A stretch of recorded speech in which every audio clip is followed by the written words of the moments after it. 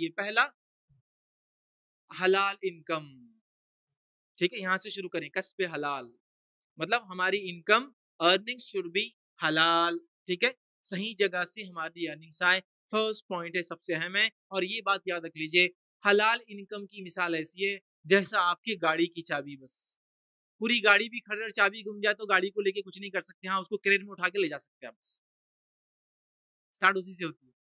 کچھ بھی نہیں ہوں گی ایکٹیویٹی اگر وہ چالو نہیں ہوئی خود کی گاڑی کی چابی گاڑی میں بھول گئے تو باہر سے دیکھنا پڑتا اس چونکہ اگر کانچ توڑنے کی کوشش کرو تو چور بول کے لوگ آپ کو ہی ماریں گے تو کیز جیسے امپورٹنٹ ہوتی ہے کار میں حلال روزی بھی پورے مومن کے پورے معاملات کو چلا سکتی ہے اگر اس میں گڑبڑ ہوتی عبادتیں خلاص نمازیں قبول نہیں ہوتی دعائیں قبول نہیں ہوتی روزہ قبول نہیں ہوتا حج قبول نہیں ہوتا عمرہ قبول نہیں ہوتا زکوٰۃ قبول نہیں ہوتی صدقہ قبول نہیں ہوتا خیرات قبول کچھ بھی نہیں ہوتا فنش تو حلال انکم شوڈ بی حلال، یہ سب سے پہلا امپورٹنٹ پوائنٹ ہے۔ یاد رکھیے، اللہ تعالیٰ نے اس شریعت میں انسانوں اور جانوروں میں فرق کیا۔ جانوروں کو یہ چھوٹ ہے کہ کہیں سے بھی کھائے اور کچھ بھی کھائے، ہے نا؟ کبھی کبھار آپ کے آ کے کھیت میں بھی منہ ڈال دیتے، کبھی مالک دیا تو وہ بھی کھا لیتے، کبھی مالک بولا نہیں کھانا تو بھی کھا لیتے۔ ان کو بیچاروں کو نہیں سمجھتا حلال، حرام۔ لیکن ابن آدم کو انسان کے لیے کرائٹیریا ہے، یہ حلال ہے، یہ حرام ہے، یہ کھاؤ، یہ مت کھاؤ۔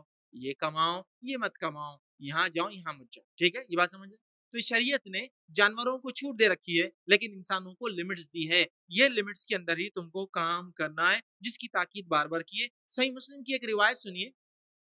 بغور سنی حدیث کے الفاظ۔ نبی اکرم صلی اللہ علیہ وسلم فرماتے ہیں، ارشاد فرماتے ہیں، ایک آدمی طویل سفر پر اور ایک مقدس مقام پر جا رہا تھا۔ مقدس مقام ہاں؟ معمولی جگہ نہیں جا رہا۔ مقدس مقام جیسا آج ہم بول سکتے مسجد حرام جا رہے ہیں، مسجد نبی جا رہے ہیں، بیت المقدس جا رہے ہیں، یہ تینوں مقدس مقام ہے اور تینوں پہ سفر کی نیت سے جانے کا ثواب اور اجر ملتا ہے۔ تو وہ شخص بھی ایک مقدس مقام جا رہا تھا، شاید پچھلے قوم میں تھا، بنی اسرائیل سے ہوں گا تو شاید بیت المقدس جا رہا ہوں گا، جہاں بھی جا رہا ہوں گا، جو مقدسات اس زمانے میں تھے۔ تو وہ مقدس مقام کے سفر پر جا رہا ہے مطلب سفر بھی معمولی نہیں ہے، یہ بات بھی جان لیجیے مقدس۔ اچھا ہے مسافر، ویسے ہی مسافر کی دعا اللہ سنتا ہے، پھر مقدس مقام کی طرف جا رہا ہے تو اس کا مقام تو اور بڑھ گیا۔ اس حال میں جاتا ہے کہ اس کے بال پرا گندا ہے۔ اور اتنا سفر سے تھک چکا ہے۔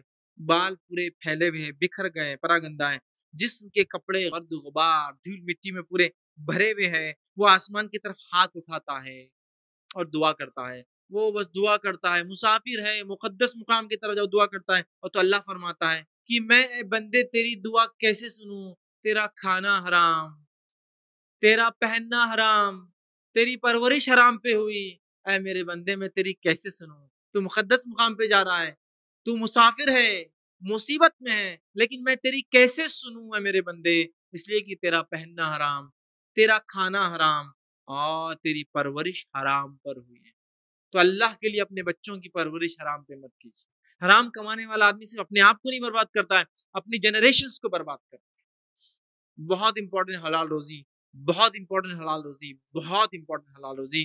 یہ بہت اہم ہے، میری نماز، روزے، زکوٰۃ، حج سب ڈیپینڈ ہے اس پر۔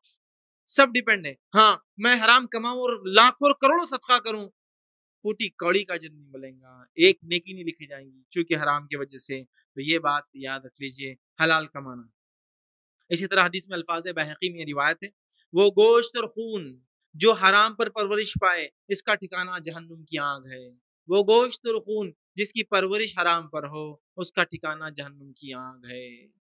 تو اپنے گوشت اور خون کو حرام پہ مت پلنے دیجیے اپنی انکم کو بہت لمٹ کیجیے حرام کمانے کی ایک وجہ میں سے ایک وجہ اور اہم وجہ یہ ہے، ضرورت کی چیزوں کا سٹینڈرڈ معلوم نہیں ہے۔ ہر چیز ضرورت کی ہے تو لاؤ بس اب، اور حرام کماؤ اور لاؤ خرید خرید۔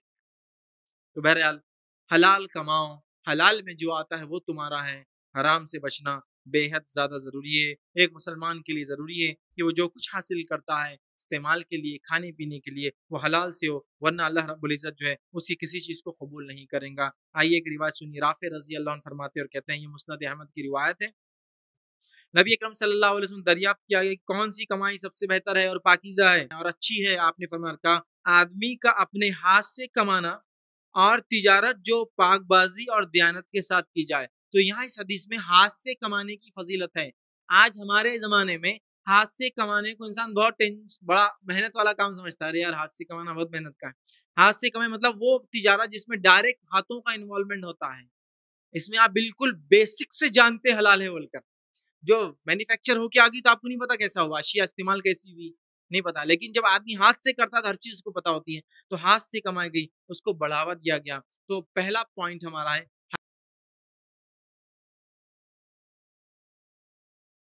السلام علیکم، آپ بھی ہمارے اس کام میں تعاون کریں، اپنی زکات و صدقات کے ذریعے ڈونیشن ڈیٹیلز کے لیے ڈونیٹ پر کلک کریں۔ اگر آپ کو ہمارے ویڈیوز پسند آئے ہیں، تو اسے شیئر کریں اور آپ کے حقدار بنیں۔ روزانہ ہمارے ویڈیوز کو پانے کے لیے ہمارے یوٹیوب چینل کو سبسکرائب کریں اور بیل آئکن دبائیں۔ ہم سے دیگر سوشل میڈیا پہ جوڑنے کے لیے ویڈیو میں دیے گئے آئی ڈی کو سرچ کریں۔ جزاک اللہ۔